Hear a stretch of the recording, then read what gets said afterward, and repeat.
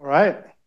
That was great. Thank you very much, everyone. Um, that was a good kickoff. And generally, um, please ask questions, right? Like the school is for you. And there is any question, please ask, right? If you don't understand anything, just interrupt. We can do this very, very informal. But Like just generally, if you have questions, please raise your hand or make yourself heard and then um, ask a question. And um, I'm just going to kick it off a little bit to give you an idea about the questions we are interested in the lab. And I think these are generally very open questions in the field.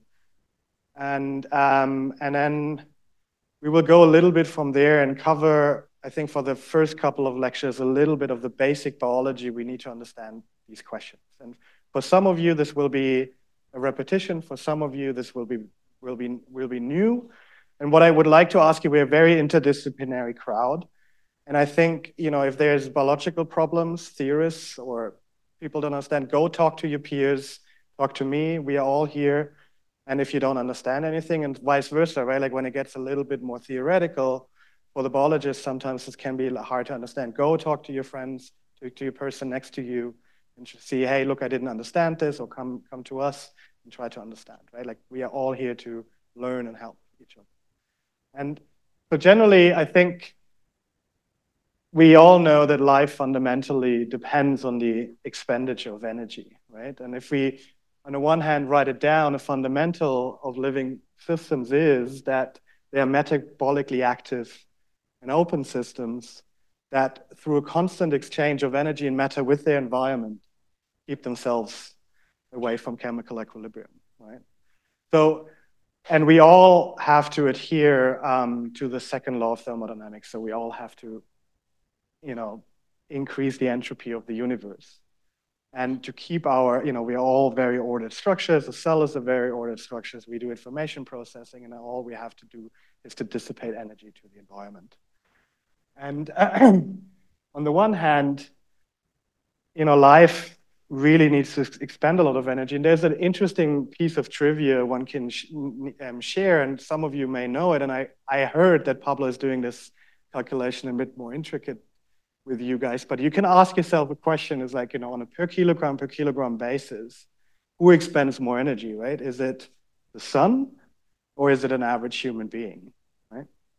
And, you know, if you if you read your nutritional requirements a day, right, we can do this calculation for a human, right? We all roughly need about 2,000 kilocalories per day. And you can convert these units into joules and then into seconds, and that you can end up with a unit of watts, right? Like, so we all dissipate roughly about 100 watts to the environment in the form of heat. And if you now just make your calculation easy and say an average human is roughly about 100 kilograms, you arrive at a mass-specific dissipation in the form of heat to the environment about one watt per kilogram. And, you do, and when you do this and you go to the NASA and think about how much energy does the sun dissipate and how heavy the sun is, you can do the same calculation and you see that the sun on a per kilogram basis is orders of magnitude less powerful than an average human being. And this number is even higher for a bacterial cell, right? It's roughly about 100 watts um, per kilogram. So that tells you that there's something really, really remarkable about life that we need to dissipate, at least on a per kilogram basis, a lot of energy. Of course, the sun is massive. Right? And all life eventually depends on the energy. And you can do this if you now make an estimate how much cells there are in a human bodies which arrives roughly about, and like a cellular um, power dissipation or heat dissipation or free energy dissipation about 100 watts per kilogram, like well, 100 picowatts.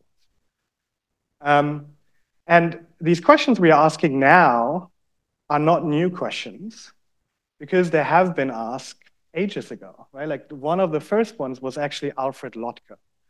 And I don't know if you know the name Lotka, but he's most famous for um, his model of predator and prey, and it's called the Lotka Volterra model. But already in 1922, and he wrote two back-to-back papers thinking about, can we look at the process of evolution from first principle and physical principle. And so he wrote these two single author back to back papers saying that if you translate his words, he would say the organism, which is, has the ability to capture most energy from the environment and dissipates the least amount of energy to the environment, will automatically prevail over length scales of evolution.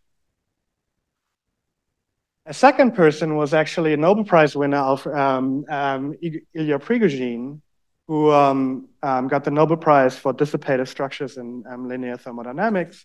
And he thought that his framework of non-equilibrium thermodynamics should be applied or is applicable to a biological problem, specifically the problem of embryonic development.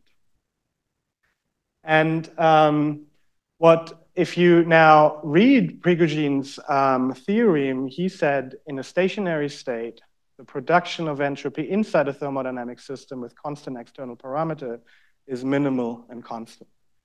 And if the system is not in a stationary state, it will change until the entropy production rate, or in other words, the dissipative function of the system takes the smallest value. So meaning that there is a drive of systems to minimize their, their specific entropy production for the environment. And conceptually, this is really, really an interesting um, framework because there has been an interesting framework in biology, which is known as the Waddington epigenetic landscape. And that tells you a little bit what is the driving force of this, for example, of a stem cell differentiating into a muscle cell. And how does the underlying gene regulatory network does that? And how is it often depicted is a stem cell is somehow in a, in a, in a non, in a, in not in a stable state, and it's depicted by a pebble on top of a hill. And that pebble is then rolling down a valley, and the gravitational force driving that pebble down is, of course, how steep the valley is. And eventually it will end up in a minimal valley where there is, you know, down at the bottom of the valley. And the valley is shaped by a gene regulatory network. And this has been, you know, this concept is really interesting because it is often depicted by an energy landscape, and your stem cell or your differentiated cell is at one point in this stable state of minimal energetics, and that could be depicted in a way that, um, you know, what Prigogine said, that maybe biological systems try to minimize their, um, their energy um, dissipation. And if you now can think of that, you know, this, this trajectory of this pebble rolling down this valley is maybe developmental time, and maybe the, the gravitation, like the, the, the, the height is the mass-specific entropy production. And this is super hand-wavy and completely speculative, because right now I would say, and I think there is no general theory for the dynamics of complex far from equilibrium systems such as cells and embryos. And there is an cool, like a really interesting book from, from Antoine Katchalsky. Um, he worked on problems of non-equilibrium thermodynamics already in the 70s, who sadly died in a terrorist at attack um, at the um, airport in Israel. Um, but he wrote that although there is no doubt that the formal approach of the thermodynamics of irreversible process is a powerful tool and one of the most promising approaches to the physical description of biological phenomena, there is much to be done before the all embracing formulas similar to the first and second laws will be formulated.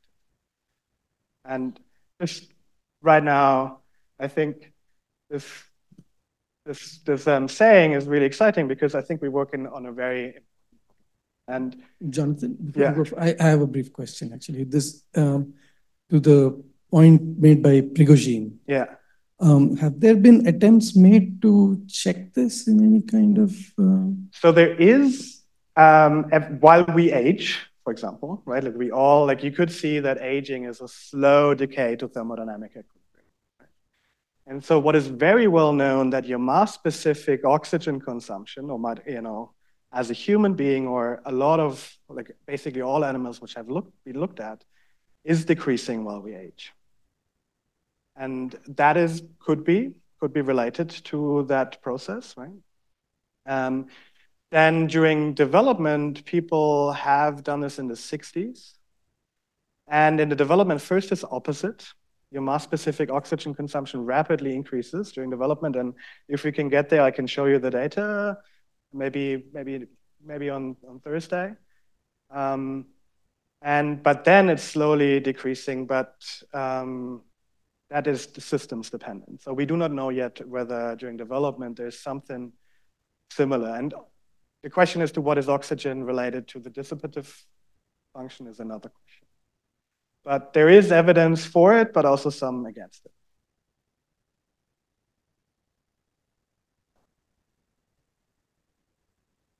But basically, um, we in the lab, we, you know, there's some, I think I would argue, some key questions first, like from the experimental side as well as from the theoretical side, which we still do not understand quantitatively about um, the energetics in biological systems. And we work on the scales of embryos and cells, and there you could just ask, you know, how much energy and matter is actually consumed, conserved, and dissipated. So for example, if you think, can we quantitatively describe what does it cost in order to make a cell. And how much of that energy is conserved in your system and the biomass you make over time, how much is actually dissipated, and there are two different costs. And on the other hand, how much more energy, or like how much energy do you need first, and then how much less energy do you need to maintain your out of equilibrium state? So for example, if you're not growing, just sitting out there and just growing your business and just maintaining yourself, like how much energy does that cost?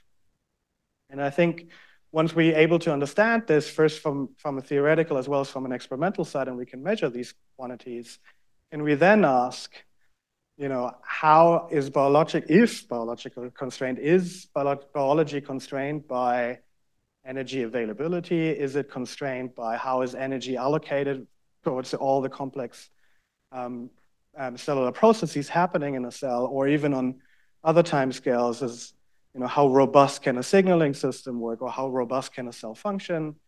Um, how fast can it does do a process? How, you know, during development, if you talk to a developmental biologist, everyone would say, yes, an organism gets more complex. But what does that mean even in, in these terms? Or like, you know, has been evolution, for example, constrained by flows? And that's on the scale of organisms and cells on very different time scales. But then you can also ask and start to look into the cell and think about if I now understand these quantities, for example, how are these energy and matter converted, right? Well, how does cellular metabolism really convert these flow, these nutrients into energy and matter the organism actually or the cell can actually use?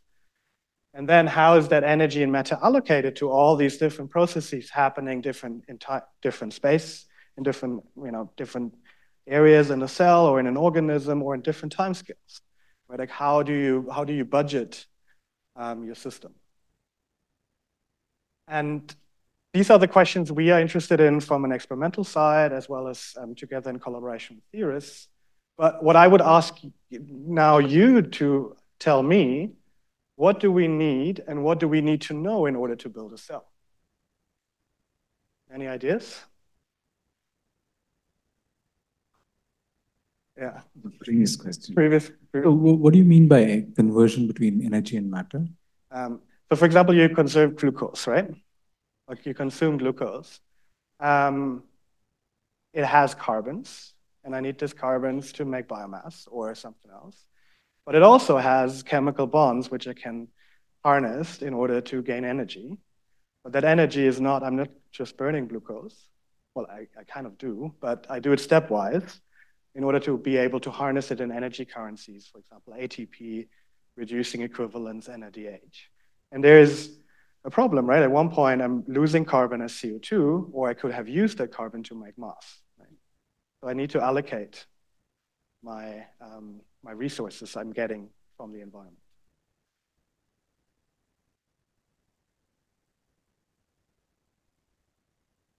The mic. Just a follow-up question. So I think there's some people on Zoom as well, right? Work. Oh, no, no, it does work. Right, great. So when you say that uh, the, the body has a choice between CO2 and biomass, is it really a choice? Uh, isn't it stoichiometrically defined? Well, it is stoichiometrically defined, but at one point you can divert, right? Um, based, you know, you can divert your carbons or partially to make biomass or energy. And the question is, that's the idea, I think, um, um, a little bit about growth efficiencies. Can you, can you tune um, whether you make more or less biomass and dissipate more or less?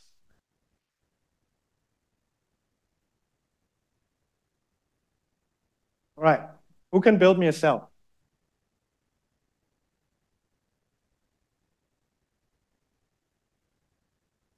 Anyone? What do I what do I need to know? Beans, okay. Okay.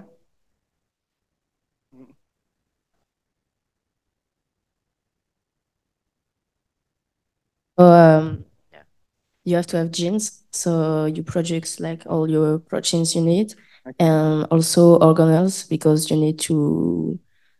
It can be for the traffic or just to produce ATP, so energy. And then I will say lipids to create compartments and to have a cell boundary. But uh, that's all, I think. You would need transcription machinery and the associated proteins to kind of regulate the gene property. Who knows what a lipid is? Okay, about half. Who knows what replication is? Okay, good. Transcription? All right.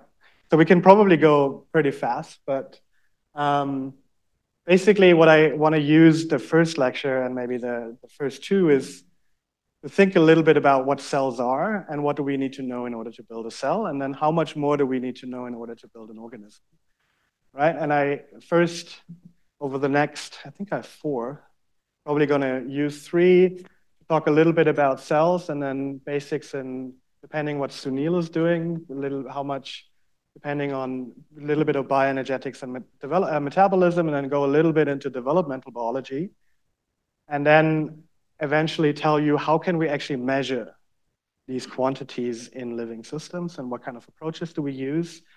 Um, and the first two probably going to be for some of you who study biology will be repetition. For some of you, maybe um, it will be new, but we can just go slowly through and just that we can get all on the same pace um, and the same. And so basically, um, in the lectures, what I used is the classical cell biology textbook, which is the molecular biology of the cell from Alberts, and then a lot of slides come from the physical biology of the cell by Rob Phillips and the cell biology by the numbers. And I used another developmental biology book, a famous one by Scott Gilbert. Um, but if we now look you know, for example, if we look at E. coli, the classical model system for a prokaryotic cell in, in, in biology, um, for example, this is a micrograph of E. coli and it has some, some pili and, and it is an electron micrograph. It's roughly about a micron in length. And this is what you can see here in E. coli colony um, colonizing a, a, like a metal tip. And one can still ask, what do I need to know to build a cell? Is first of all, what is the elemental composition of a cell? Right? And if you just then look at the element and at the periodical system and see what are the most present elements in biology, what you can find is it's the 99 of the percent of elements are these elements here colored in red. So it's carbon, nitrogen, oxygen, and hydrogen. And this is the CHNO, and then sometimes the next ones are um, phosphorus and sulfur. So it's kind of CHOPS, right? Like this is what you need to remember. What is the elemental composition of a cell? Just say CHOPS. And then you kind of know carbon, hydrogen, nitrogen, oxygen, phosphorus, and forth. And if you now then look at what is the elemental composition of the Earth's crust or the fraction in the ocean, and if you plot that as the fraction of the elements, in a cell in a human body, you can see is that we have in the human body an overrepresentation of these elements compared to the elements present in the environment. And then you have elements, but that still doesn't make a cell. So at one point, we need molecules. Right? And these molecules, these elements are usually linked together via what we call a covalent bond. And these covalent bonds are roughly about 100 times stronger than the thermal energy available, and that's thus they are stable. And two molecules can also interact via um, non-covalent bonds, just like forming, for example, um, um, salt bridges and so on and so forth, and they are just much weaker and can be broken much more easily. And then if you look, for example, you said you need lipids and organelles, and I was thinking even more basic, is, you know, what are the building blocks of a cell, right? Like you can say, what are the majority of molecules where my elements are organized in? And on one hand, we have sugars, right? Classical glucose sugars we all sometimes like to eat with cake and so on and so forth. We have fatty acids, which make up these lipids, which were mentioned before. We have amino acids, which make our proteins. And then we have nucleotides, which make up nucleic acids. And these building blocks also form larger units in cells, which, um, which I will get to in a minute, which is uh, macromolecule. But if we now think about what is a fatty acid, Fatty acid is a long hydrocarbon chain, and the most prevalent fatty acid, I think, is C16, C18 palmitidic acid in a cell that has 16 carbons. Um, and then they have this carboxylic acid group on top, which that's hence a fatty acid. And they have a very, that's an amphiphilic molecule, right? Like you have a charged group up here, and then you have a very, very hydrophobic tail. That's the reason why it can also act as a, as a barrier. And these fatty acids organize into lipids, and that's the, the larger molecule. So you can have two fatty acids, which are then coupled to a molecule called glycerol, and then you have a polar hat group. And that's the reason it's an amphipathic molecule, which has a hydrophobic tail and a hydrophilic head. So they can form a, what we call a membrane, like a lipid bilayer, where the hydrophobic tails interact with each other, and then the hydrophilic heads point towards to the charged molecules. Um, on the other hand, we have three, uh, we have, you know, these, um, these subunits like sugars, amino acids, and nucleotides can be organized into macromolecules, building up what is most prevalent in a cell, known as polysaccharides, um, like a polypeptide or protein, and nucleic acids. Um, the carbohydrates or the sugars um, for example, this is glucose, um, can be um, present in a, in a ring-like structure, um, and that's the most prevalent carbon, and then you can condense these, um, these sugars into a polysaccharide. So for example, you can take two, two sugar molecules and then what we call in a chemical reaction called a condensation reaction, couple them to each other um, via a glycosidic bond, and you can also use and break them up again. Um, similarly, amino acids can form polypeptides and proteins. So for example, you have a classical amino acid group over here. So the reason why this molecule is called an amino acid, because you have an acid group on the one side called a, um, on an amino group on the other side. If you throw this into water at pH 7, this molecule is going to be a charged molecule, but the net charge is zero because you have a positively charged amino group and a negatively charged acid group. Um, and you can take two of those and form a peptide bond between those. And then you start to build up a polypeptide. Um, similarly, we have nucleotides. So this is your classical famous molecule. It's an energy carrying molecule. It's called ATP or adenosine triphosphate. And it's built of a sugar called ribose, a base called adenine, and a triphosphate group on the side. And this is how the molecule looks like. And why is this an energy car um, carrier? Because this, this ester group between two phosphates carries um, quite a bit of energy when you hydrolyze it. And that energy is larger than any other phosphoester group out there. And somehow, during the course of evolution, these nucleotides, it doesn't have to be ATP, it could be also thiamine triphosphate, has similar amount of has been somehow been selected as the energy currency or one of the energy currencies. And how can you how can you get energy from this molecule? You can hydrolyze it using um, using water, and split this um, phosphor uh, this this this ester group, and release about, like energy to um, which can be then used for the cell in order to. How much energy um, and but besides um, being an energy currency, of course, this is a building block of our nucleic acids in cells.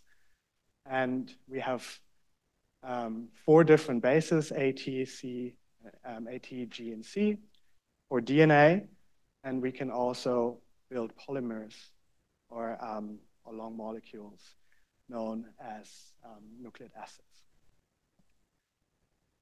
If we just look at how big these molecules are, right? If we think about, you know, a phospholipid, a sugar, an amino acid, a nucleotide, or ATP, they're roughly on the scale of nanometers. And if we now look at the size scale um, of their polymers, you can see that the diameter of, for example, your DNA molecules are also on the order of about two nanometers, and a protein is roughly on the order of about 10 nanometers. And a lipid is about one nanometer. And most of your elements are not um, in your cell are not in small little molecules, but actually roughly 90% of your mass is organized into macromolecules in a cell, such as DNA, RNA, protein, and lipids. And if we now look at what is the composition of macromolecules in cells, you can start to see 70% of a cell is actually water. And the dry mass of about 30% is roughly the majority of the dry mass is protein, followed by nucleic acids and saccharides, and then we have roughly about a few percent of small molecules, 4%. And the beauty is that you can also display this in, in this diagram to, to see the proportion of how much of your mass is actually protein, lipids, nucleotides, and small little metabolites. And beauty is that we have roughly you know, a century of research, and so we could actually put numbers on you know, how much protein there are actually, for example, in a cell of E. coli. And if we take an E. coli cell, which is roughly a micron or a femtoliter or a picogram in weight, and look as like how much numbers or like how much protein numbers do they actually have. And we can say, okay, an E. coli cell roughly has about 2 million proteins. And then, you know, roughly 20,000 ribosomes, um, and so on and so forth. So you can really start to quantitatively build a census of a cell.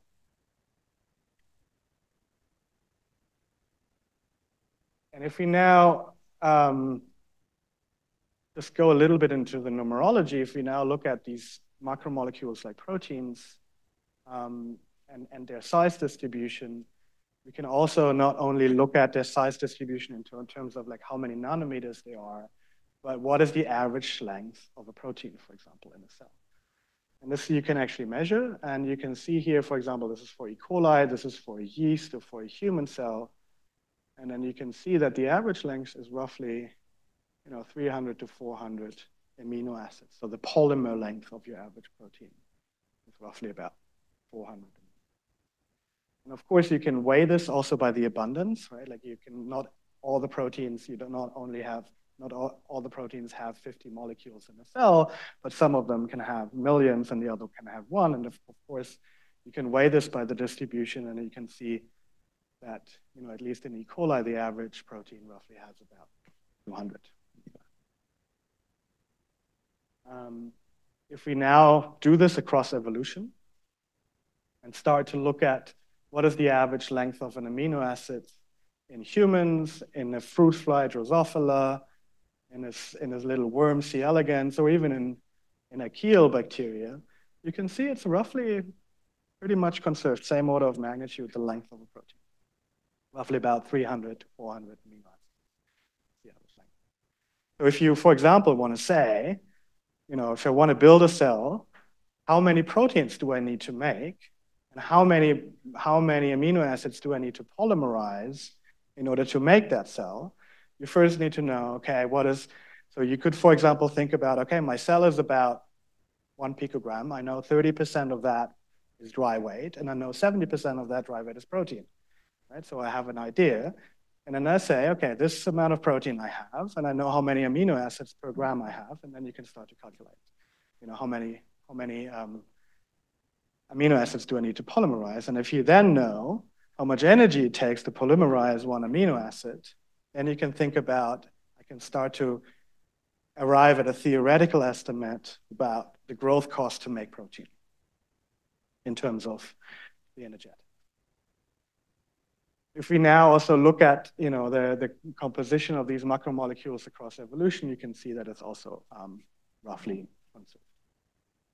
Um, then if we um, think about what is the size of the DNA, which, or the DNA or the RNA, which made that protein, you can see that a protein is roughly about 5 nanometers to 10 nanometers. However, if the RNA or the molecule which translated, or like which sequence got translated into that protein sequence, it's actually a much more floppy molecule swimming around in the cell. And we can also now just have a basic numerology about these macromolecules and cells. So for example, we can think about what is the average length of a base pair in your, in your molecule, what is the volume that base pair occupies. Um, for example, you can think about a DNA molecule also as a, as a polymer and it has a persistent length. Um, you can also what is the radius of your average protein, your volume occupied, so on and so forth. There's all the vast knowledge of biochemistry we, we achieve, we can now start to put numbers on certain molecules. And these, I think, are important numbers if you want to understand or model or quantitatively um, do something. And this is where these books are also very helpful. Um, for example, um, Rob Phillips's books on the physical biology of the cell or cell biology by the numbers and there's also, I don't know, whoever, did any one of you use Bionumbers, the website Bionumbers? One, two, three, four. Okay, so it's spreading, right? Like there's a website called Bionumbers. You can go and query it with, you know, how much ATP does it cost to make a cell, right? And then gives you, it goes to the references where people have tried it. Or you can also ask, you know, what is the length of a protein? Or what is, um, you know, how much free energy do I get from ATP hydrolysis? And, you know, this is, is a massive database, very well curated. If you ever look for numbers, Bionumbers is one of the first numbers or like websites and databases you can, you can start querying. Um, but now, I told you 70% of a cell is water, but if you then actually look into the cell, and you know, it's a very, very, very crowded environment. So this is just like a hand drawing from an electron micrograph, and this is actually um, data from a molecular dynamics simulation, thinking about thinking about the inside of the cell. And I don't know if this if the website movie is working, but yeah, exactly. So this is the molecular dynamic simulation of a piece of your cytoplasm of a cell. So it's not, it doesn't look like 70% water, right? It's a very, very crowded environment. That's what we also we have to think about that a lot of the data we gather in biology is actually in dilute solutions. But when you start to think about a cytoplasm that may work, but it's probably not the whole truth.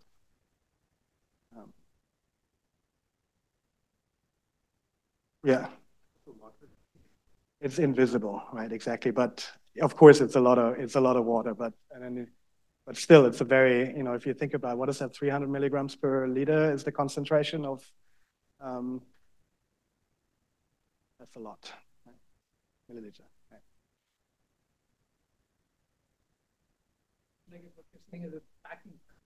Yeah, the packing fraction is very high,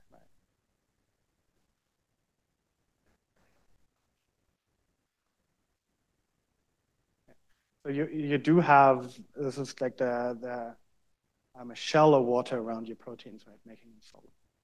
And there is, um, there's a lot of effort right now, and I'm not an expert in the field, but this water behaves different from the other water when it's bound to the protein shell.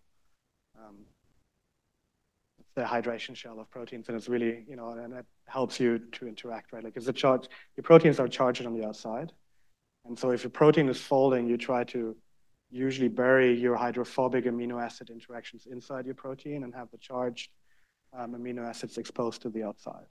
And this is, of course, then you know you form water bridges and with, with water and other molecules, and you can then displace the water to have a protein-protein interaction.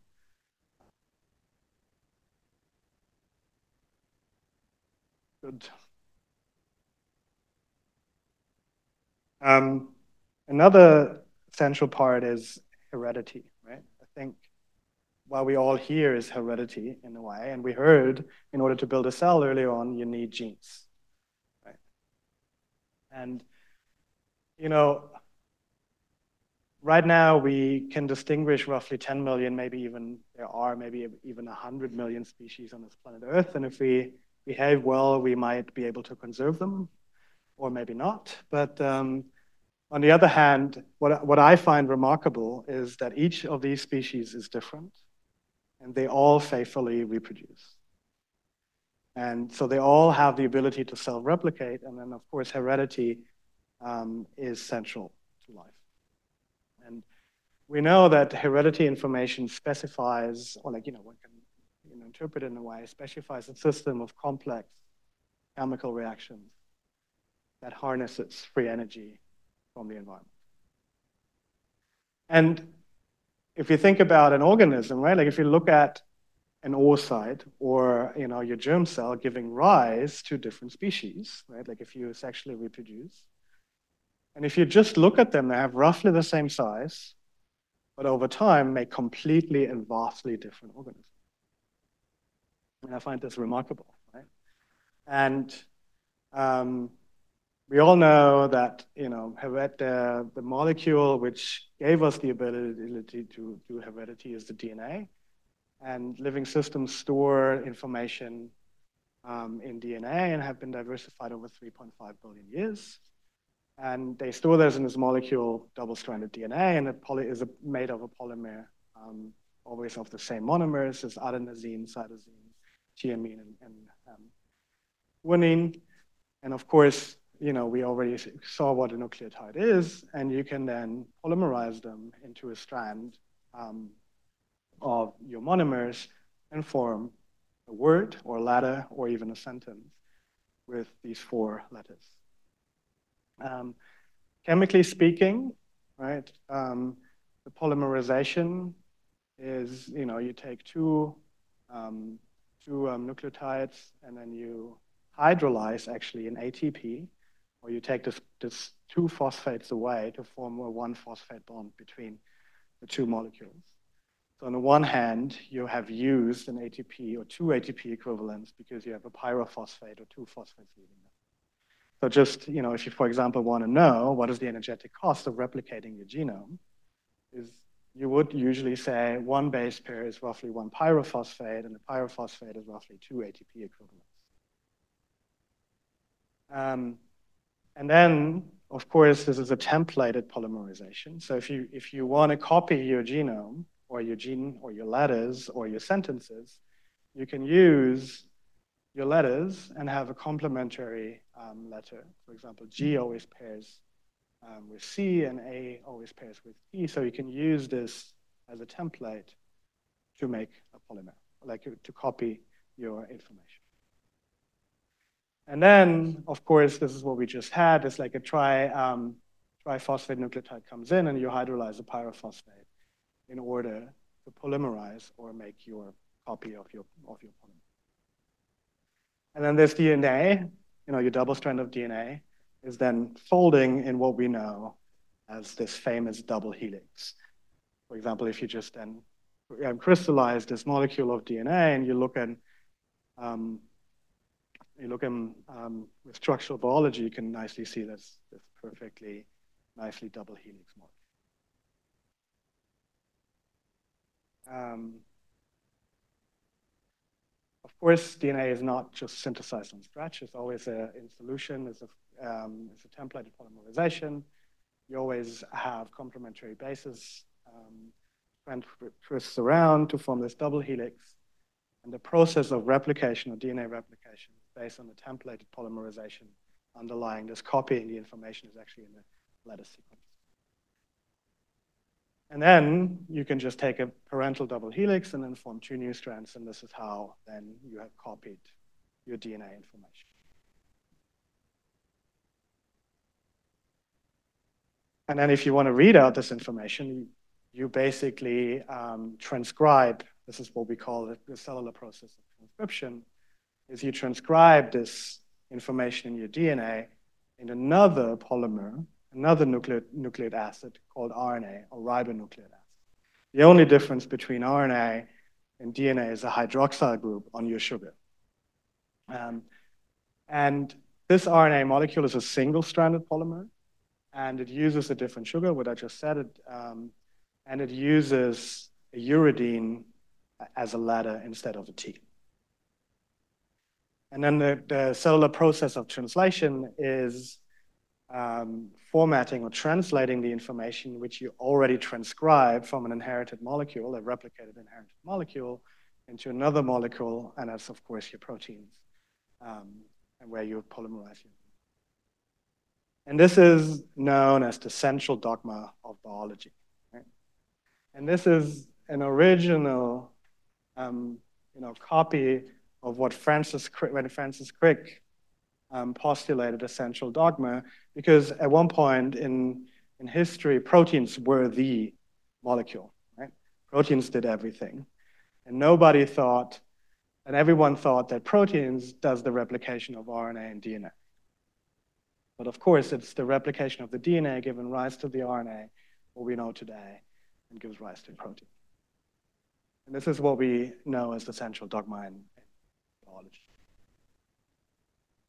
Um, this is just another depiction, a little bit more um, detailed, is that you have, of course, proteins which help you um, replicate your DNA, which is called DNA polymerases. You have a whole protein machinery replicating your DNA, and then you can transcribe this DNA using your RNA polymerase, making your single-stranded polymer called messenger RNA, and then you can read this out and translate that. Um, of course, um, RNAs are disposable, like in a way, we can think about RNA as a disposable mass product of your DNA, and its intermediate serve as messenger RNAs. And the machinery um, is a molecule called RNA polymerase, which transcribes, um, what transcribes your information in your DNA into RNA molecules. So similarly, you think about its energetics. It also uses a triphosphate, this time an R-NTP, not an D-NTP. Um, and then you also hydrolyze a py pyrophosphate, which then gives you, again, these two ATP equivalents per base pair of RNA. Of course, RNA can fold um, and form 3D structures. And this RNA um, allows, for example, this folding of the RNA structure allows you to form a structure which then, for example, can be bound by a protein, another RNA. And it's interesting that RNA itself can be a catalytical molecule. So it can actually catalyze chemical reactions. And there um, is this hypothesis around that it was not first proteins, but it was actually first RNA, which gave rise to the first catalysis in the evolution of life. And then proteins start to come in and take over this catalysis role um, from RNA. Um, of course, um, proteins are now the majority of molecules which does the catalysis or the like the catalysis of chemical reactions in our cells. Um, they are long branched polymers, which then fold to each other. And we had this, right? Like normally you have your long polymer of amino acids, which then in the process of protein folding, form a 3D structure of your protein. And there you always try to bury your hydrophobic amino acids. You have 20 of them. They all have different chemical um, properties. And these 20 amino acids then, you know, once in a polypeptide, form an amino acid sequence, which then fold into your protein, which then can form a reactive site, for example. So a protein is usually is a reactive, uh, can be reactive or catalytic, right? It can catalyze a chemical reaction, but it can be also reactive in a way, binding another protein, making its function active or inactive. Um, and the process of translation or the protein synthesis is, of course, turning um, the four-letter alphabet of your, of your nucleotide sequence into a 20-letter alphabet of your protein sequence.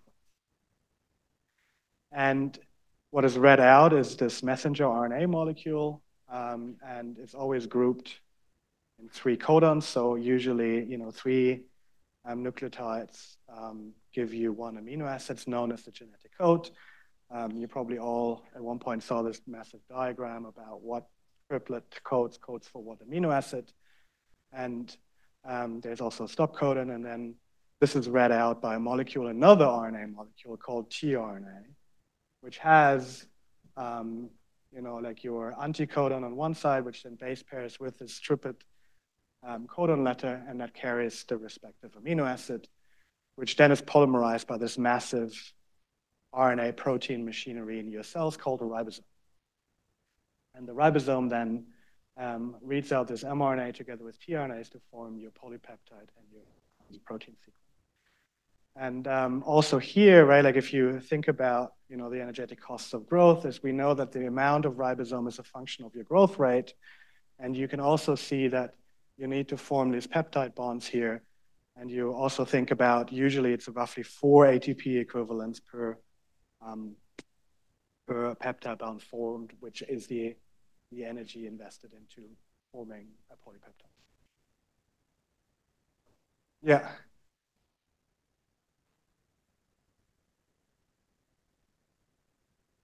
RNA can fold, yes, and can form 3D structures. Okay. Yeah. And then, for example, you can, for example, this is beautifully linear, but it, this is not, normally you can you can have loops, what we call a stem loop, which then, for example, can be bound by another protein in order to tell the cell, look, make a lot of protein here or make no protein here. Um, you can have, um, for example, in bacterial cells, you can have structures which then self-cleave. So for example, you can have a structure forming which is formed in, you know, when there's a certain metabolite, for example, let's say glucose, just as a, as a as an example, glucose binds this RNA structure.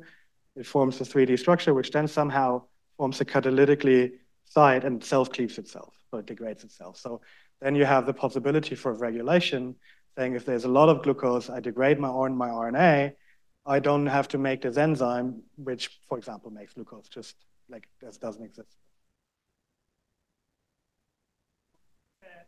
RNA also has um, um, um, catalytic activity. It can, it can have, right. Yeah. Does it happen only for non-coding RNA, or it can also like switch between having a actual enzymatic activity. So like the, the example, for example, from bacteria I just described is can be actually coding RNA, but it sits in the non-coding region usually. In the so in the RNA molecule, you have the coding region, and then what we have is the it has an end at the five prime and a three prime end, like it has a left and a right.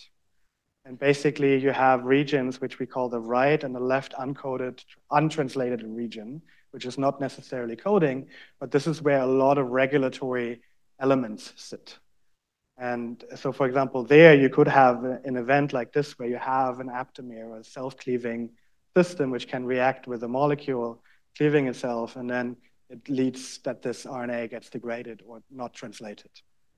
That's one possibility. And but generally, um, I think in eukaryotes, there are not so many catalytically active RNAs present in the genome. As, I, as far as I know, there's one in a plant cell, the TPP riboswitch. But in prokaryotes, it's very prevalent. Um, the reason, like we, the reason how you identify them usually is you you found one and then you look at the sequence of the RNA. And sometimes there's a structure function relationship, and you can predict the structure based on the sequence to a certain extent. And then you use that sequence and you look in other organisms and see is that sequence also present. And then you figure out, okay, they, they also have it. We haven't found them in a classical eukaryote yet. Doesn't mean that it doesn't have it. And you, the, the one thing you said is that, of course, why do we have so many junk RNA, right? Non-coding RNA. And maybe there are catalytically active that just haven't found them yet. But so far we know about one in eukaryote or two. Yeah, I, I was I was, I was asking uh, for the fact that uh, if they have to code for protein, they will have a defined uh, primary a, a defined sequence that is uh, given by the protein that they have to yeah. encode. But at the same time, if they have to have a secondary structure in order to perform whatever task, well. No, there's a, there's of course right, like you know, but that is also a possibility for regulation, right? Like you could just say, um, you know, if they have a secondary task, for example, if they're not bound by a ribosome, and we know that, you know, there's a lot of RNA binding proteins to make an RNA linear. So even the ribosome has some force to un, you to to to get rid of the structure which has been formed while the ribosome is moving over. And for example, um, secondary structures are used, for example, in, in, in the transcription, in, in stopping the transcription.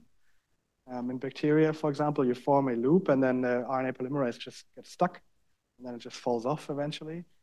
Um, but there are a lot of structures and you can form structures, um, you know, when you, when you have RNA binding proteins can force certain structures of your RNA while others can just resolve them. And we have a lot of these molecules called helicases which get rid of these structures because sometimes they are harmful, because they anyway will, would always form.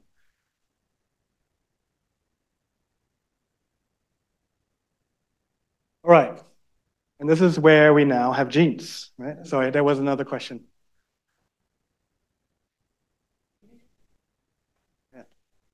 I think, Shashi, there's one over here.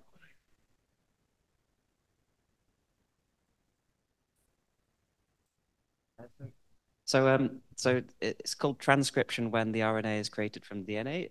Is yeah. it called like de decryption when it's read by the ribosome? No, it's translation. Translation, okay. Translation, and exactly. My, you translate my, that message. Yeah. And then my question is, what drives it? Is is there an ATP usage, or is it driven by itself? Or?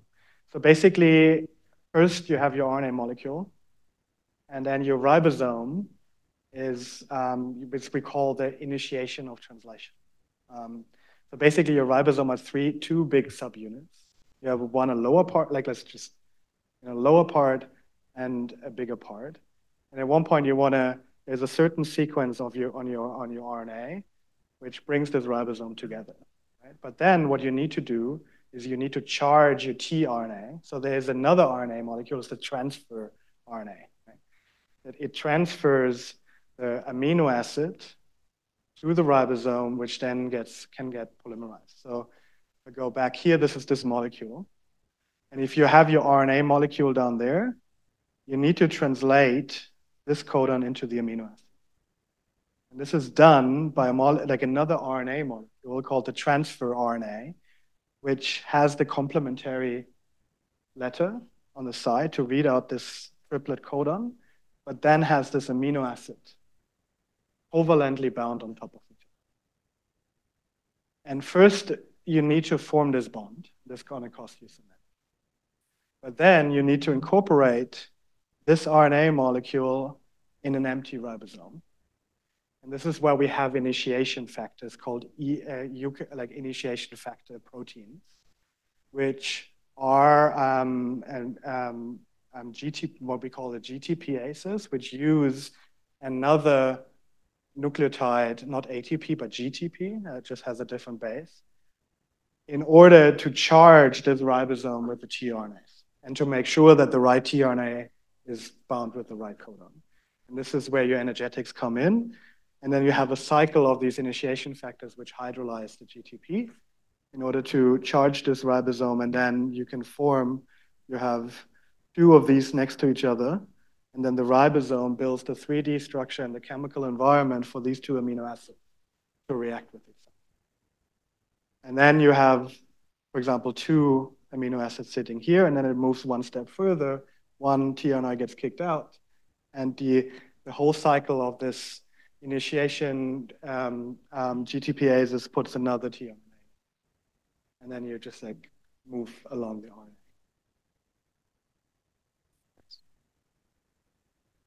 Okay. Yeah, that would be the short answer. Sorry. one each, one, one ATP, one step. Yeah. Yeah.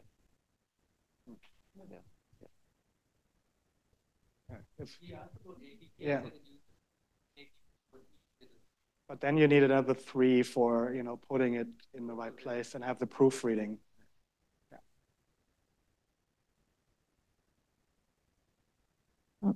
So I have read that the amino acids in the cell are not all used for formation of proteins. Is that is true, right? That is true. Yeah. Yes. So, uh, so is it that they're just randomly floating around inside the cell, the amino acids? Because in the diagram uh, of the tRNA, the amino acid is now bound, bound. But there are also a lot of free pools of amino acids. So is it that the ones that are to be used for protein formation specifically get immediately bound to the respective tRNAs and the rest which are not used for protein formation are randomly floating around? That's a good question. Is are there free tRNAs in the cell? I don't know if I don't know, right? Um, I think are they most mostly charged or not? Both.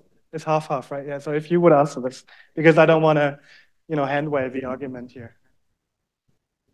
Bit of both. Two part question. It's actually a two part question because you said what's happening to all the other amino acids, right? So of course, a lot of tRNAs are uncharged. The amount of charging is actually an indicator of your um, uh, uh, nutrient sufficiency or energy sufficiency, yes. right? So there's a lot of uncharged DNA, tRNA, but more than that, there's a lot more amino acids than what is charged to tRNA. So quantitatively, your amino acids are 10, 100 times more than what you have, the number of tRNAs. The, the, the, A, most of the amino acids are actually not used for translation. It's only a small component, maybe 20%. The rest are used for other metabolic functions. And the second part, how is the tRNA charged? There are three, three parts to that. Unfortunately, everything has too many parts. Um, one is, uh, so, you know, your, your amino acid concentrations change by about an order of magnitude or more. And your affinity of the tRNA is in that nice sweet spot range. So once you drop below the affinity, the tRNA remains uncharged. It's a, it's a very nice sweet spot where the amino acid concentrations exceed or decrease that uh, the, the, the binding constant of the tRNA. So you have this window where you can go above and below. So that's the kind of short answer when you deplete subsets of amino acids, and it's again, there are 20 amino acids, not all of them will be used at the same rate and are made at the same rate, which means you can have a subset of tRNAs that are more uncharged. And usually that's what's an indicator because a tRNA is specific to an amino acid. It's not the same tRNA binding a different one. So, so you have all of the above, but that's the. Um, so another follow-up question, yeah. sorry. So there is also a stress response when there's a deficiency of amino acids. So that stress response is amino acid specific or in general, uh, like the total concentration of amino acids have, have to drop below a certain point for the stress response to get activated. Okay. So the um, uh, prokaryotes have a slightly different one. Eukaryotes have a slightly different one. That's the integrated stress response. It doesn't have to deplete all amino acids most of the time your stress response is triggered by what would be the most limiting at that time amino acid and any one is sufficient you don't need to have a general starvation of course you also have a general starvation response which is obvious but that's kind of consequent to any one amino acid being depleted thank you. Good. Thank you.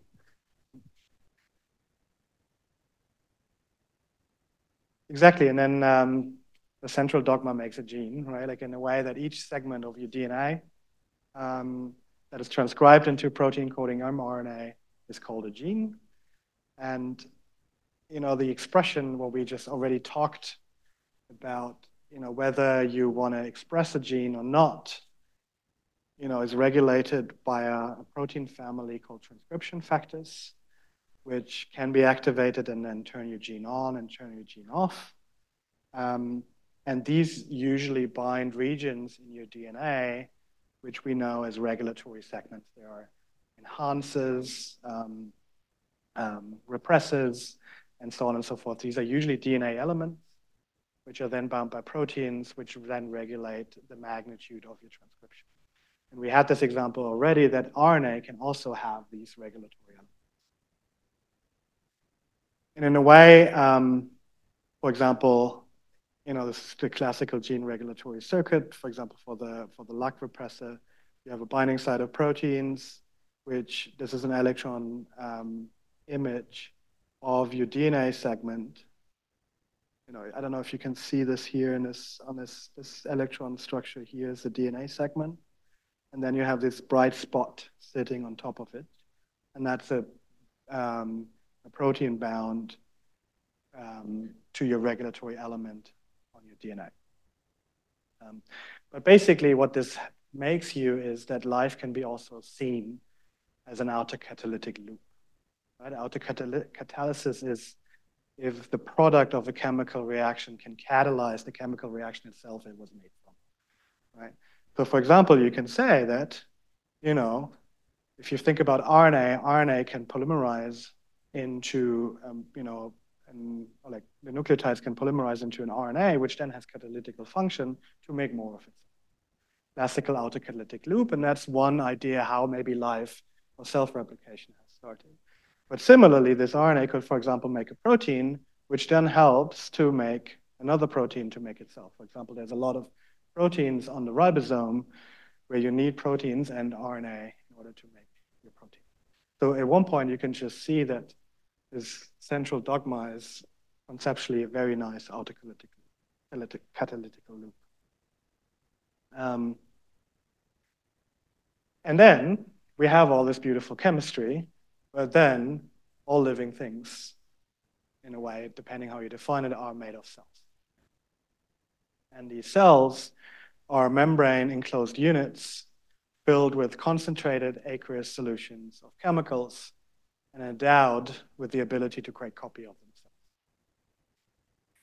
And the field of cell biology is actually the study of the structure, function, and behavior. However, we all know, and it's one, what we're trying to understand, is that a living cell is a dynamical chemical system operating far from chemical activity. And it must take in energy and matter from the environment and when the supply of energy and matter stops, and then usually cells decay to equilibrium, and that is when we die. Um, and at one point, free energy then must be used in order to create and maintain the order and propagate the information. And this is where your lipids become really, really important, right?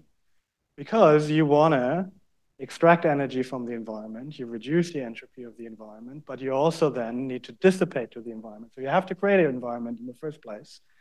And this is how we can use you know, our membrane or these lipids because of their chemical features of this um, um, being amphipathic, so having a hydrophobic tail and um, a phospholipid, like a charged phospholipid. You form these, if you just take a lipid and you throw it in a cell, like you can form this phospholipid bilayers, and this is what your membrane, and usually this is what is surrounding a cell. And these plasma membranes act as a selective barrier and enables, for example, also cells to concentrate um, nutrients and retain their products. These membranes are formed by lipids, and they assemble in these, or self-assemble into these bilayers. Um, and these membranes allow cells to exchange energy and matter with the environment. Um, and if we now look at what kind of cells they are, right? For example, this is a prokaryote, and this is depicted of a cell which we all know really well. This is Escherichia coli, or like a schematic of Escherichia coli, and that's defined as a prokaryote. And you know, Escherichia coli has um,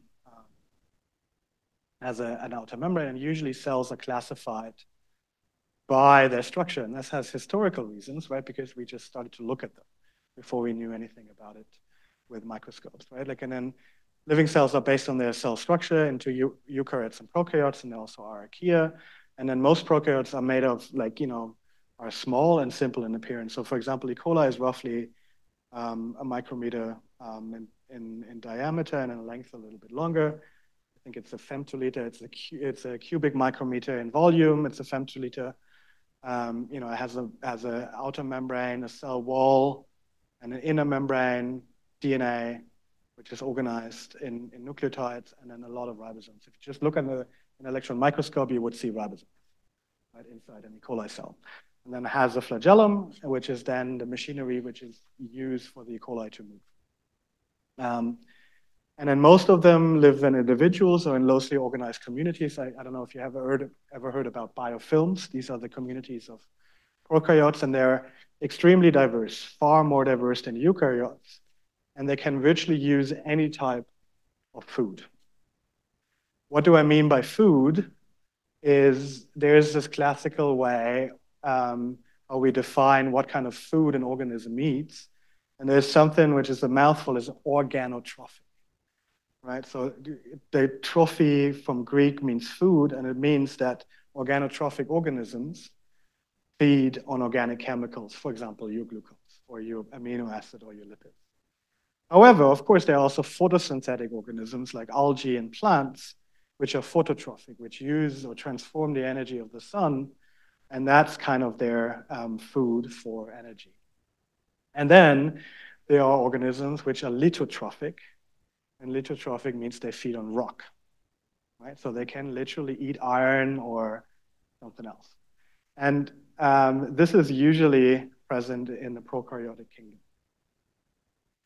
Um, there's an order to E. coli, right? Like Escherichia coli has been one of the first, like the first model um, system in molecular biology.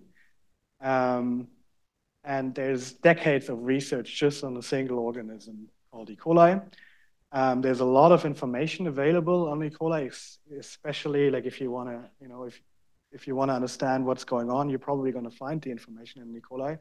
And it's kind of you you can use E. coli as a standard ruler, right? Like you know, you can, for example, define you know how heavy is an E. coli, and then compare that to another cell and say, okay, my eukaryotic cells has 10 E. coli.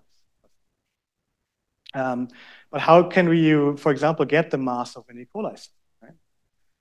So how do you know an E. coli cell is a picogram, right? So one of the current state-of-the-art things to measure the mass of cells is to measure its buoyant, buoyant mass.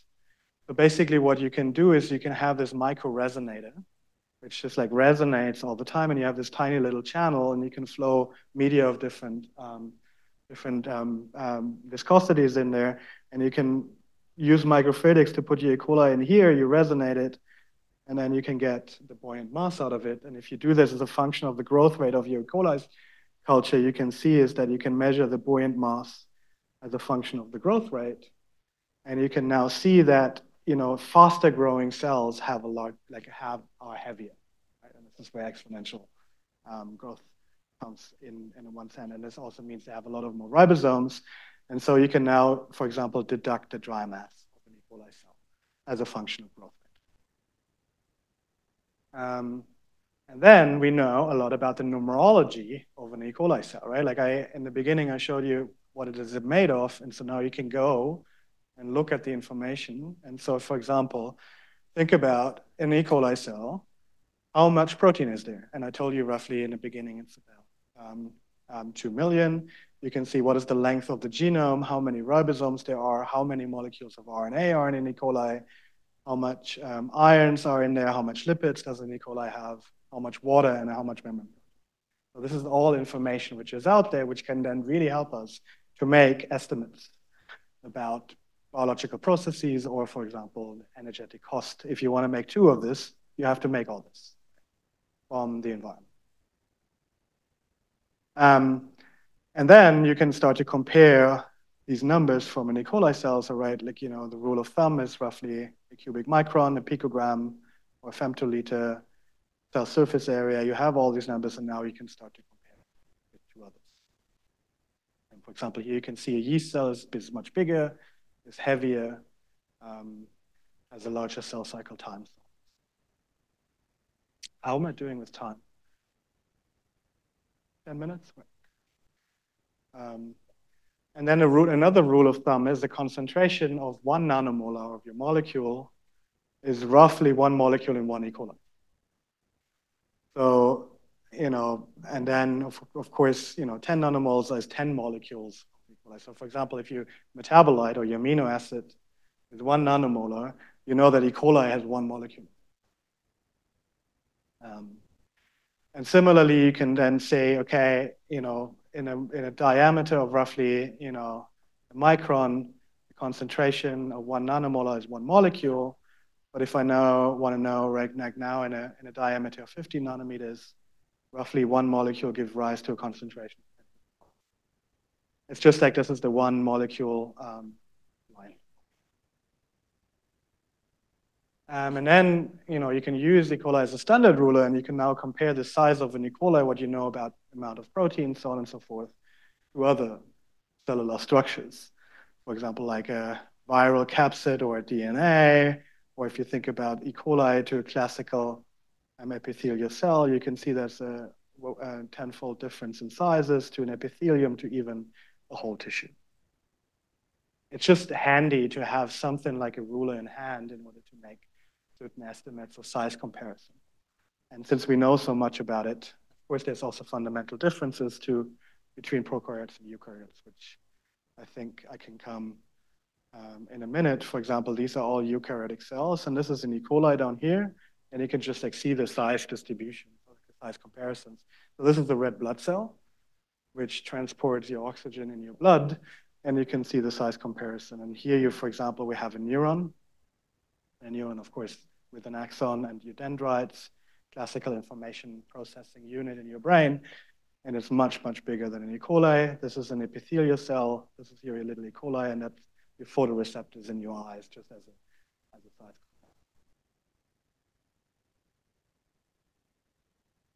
But then this is a prokaryote, and now if we start to make have a look at a eukaryote, a classical mammalian cell, you can see that there's much more going on inside um, yourself. Right? You start to now have organelles, and a eukaryotic cell is much bigger, right? 10 to 1,000 fold much bigger, and they have much, they are much more elaborate in a way than prokaryotes. And of course, they have intracellular structures, which we call organelles. They, intracellular structures can be membrane-bound or non-membrane bound structures. And the, the biggest characteristic which makes them different is that they have an organelle called the nucleus. And in the nucleus, of course, is where all your DNA is localized and where your DNA replication, transcription is happening.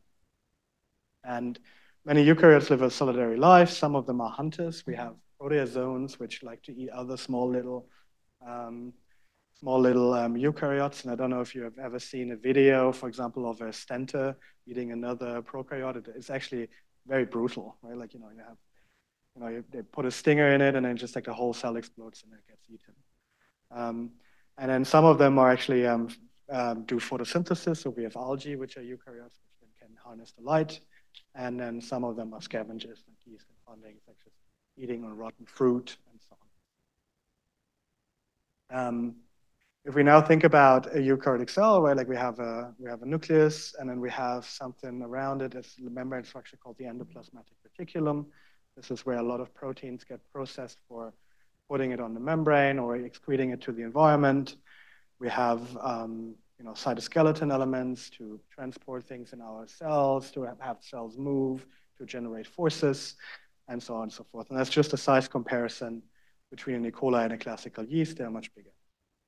Um, and we can also, what we also know is we can also measure, as I told you, we can measure the size of an E. coli, but we can also measure, for example, the volume occupied by a yeast cell, or even if it's mass, and you can see this is the distribution of the volume occupied by a yeast cell, and it's, you can see that they are roughly about 30, 30 femtoliters in size, and a classical um, mammalian cell is roughly about a thousand femtoliters. Um, We talked about this, and in another way, for example, to measure mass cells is a technique which we, for example, use in the lab, which is quantitative phase microscopy. And the principle is basically you have a white light source which you pass through a reference and your sample, and eventually you you put these lights like these these lights together and let them interfere with each other. And then what you're going to get from that is a hologram or interference pattern of these two light sources. Um, and that is related, gives you the phase of the light, which is related to the refractive index um, of, of your sample.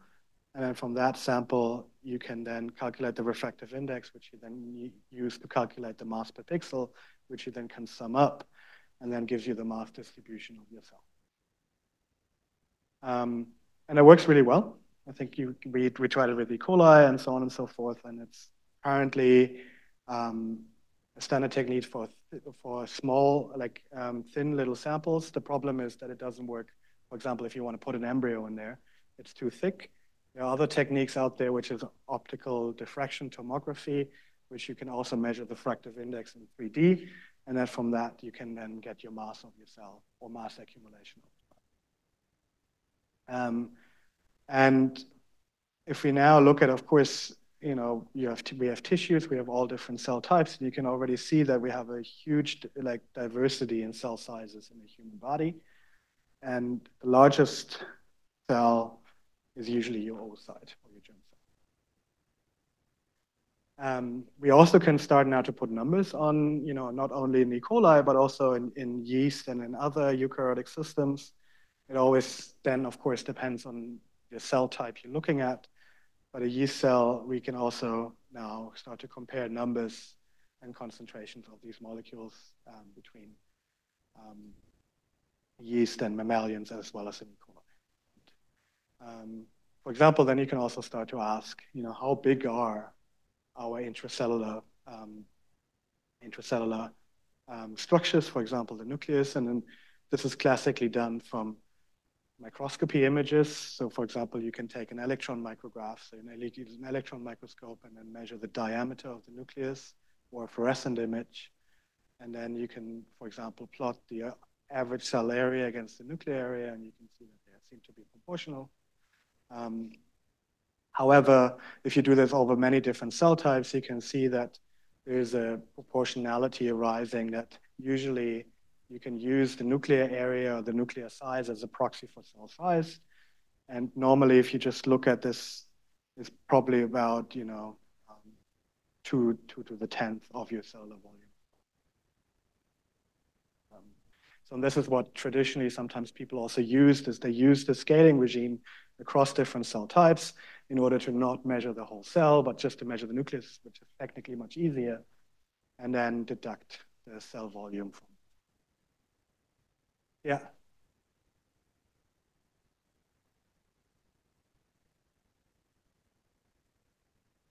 Yeah.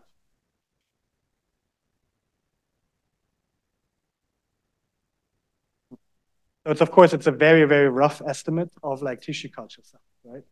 Um, so generally it has no like very little geometry information in there, where like people just segmented the cells, see what kind of nucleus like how big it, it is and measured the nucleus. And of course, um, that only is true in systems where your nucleus size scales with yourself. So for example, if you think about early embryogenesis, that may or may not be true for your system you're looking at. Um, and of course, it has no information of geometry, and you're probably going to find a cell type which is not going to follow this scaling. I hope that answers your question.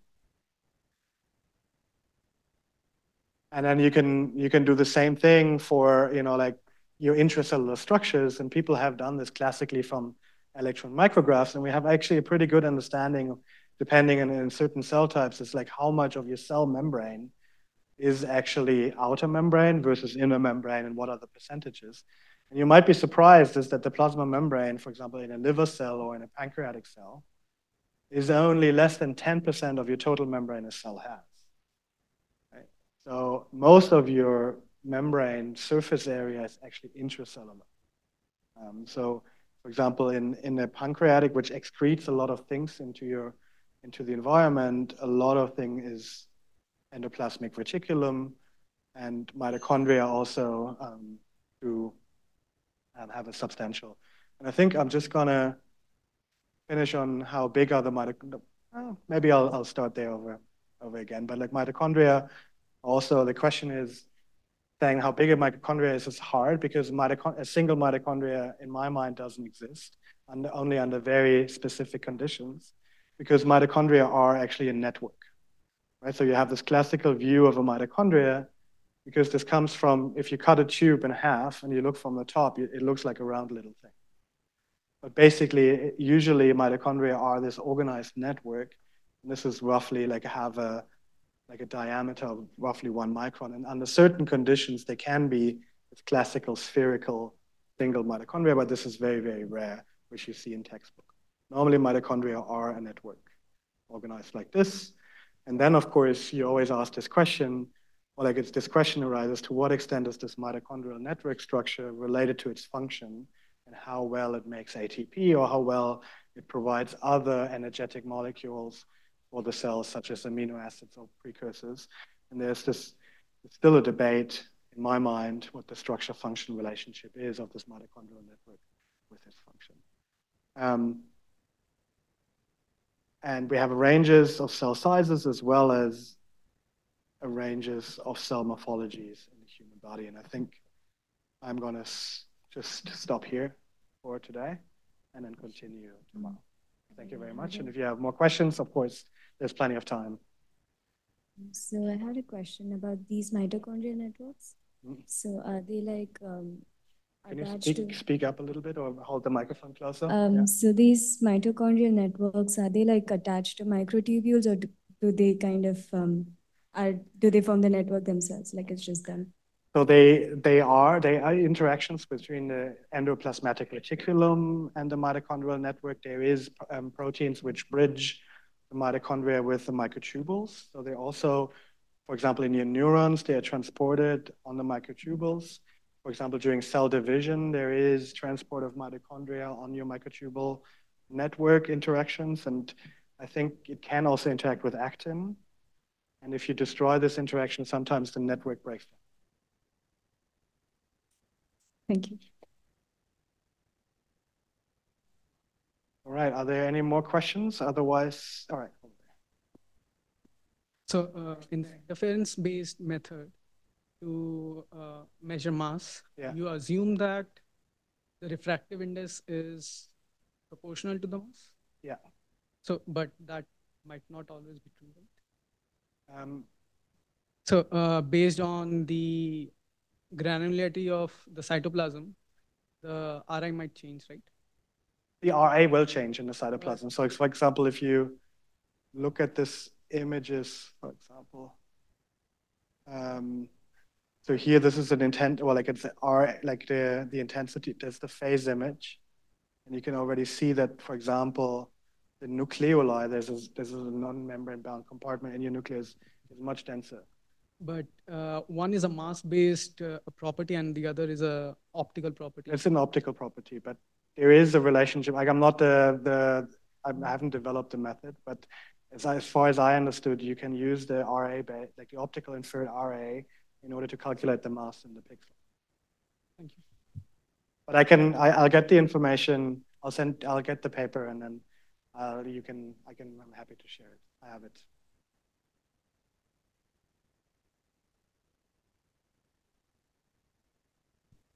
Uh, so when you say that ATP is the energy currency, one, yeah, one of one, the one of the energy currencies. Um, and I'm asking because I don't really know. Uh, do you, do you mean um, energy, free energy, or negative entropy? And what, how are those things related? So as a biochemist, we, we think about free energy, right? Like gives free energy um, in a way, and you get roughly, you know, the delta G zero at equilibrium, you get about 40 kilojoules per mole. Or what is that in KT? Um, I think 12, 25 KT. The ATP hydrolysis, 25 KT. Right, 20. Yeah, I mean, that's that's the assumed number, it's probably not right. but no, of course you have a constant. You have a constant. It also depends on the environment, right? But if we think about energy and usually free energies, right? This is what we think. And then, you know, if you have a delta G change of a reaction, for example, you have a negative free energy change, for example, and that would you, you know, that is also dissipated to the environment. Or it can be used for other, if it's coupled to another reaction. What's the difference between free energy and entropy? I, I just don't really know. At constant temperature, it's, you know, like it's, you can assume that it's similar. TS, right? Massimiliano will tell you all about the, the, the physics of it. Question. Uh, why do cells prefer ATP more than CTPs or TTPs or GTPs? I don't know. That's the conundrum why ATP has been selected as, well, there are, there are also, it's the majority. That It's not true that they don't use CTP or GTP. Okay. But they use, majority use ATP. But of course, during lipid metabolism, you use sometimes CTP. Okay. And then a lot of proteins, which we know as GTPases, which are usually regulatory proteins, they use GTP as, an, as a driving, um, but the majority use ATP. Why that is, I don't know. Okay, thank you.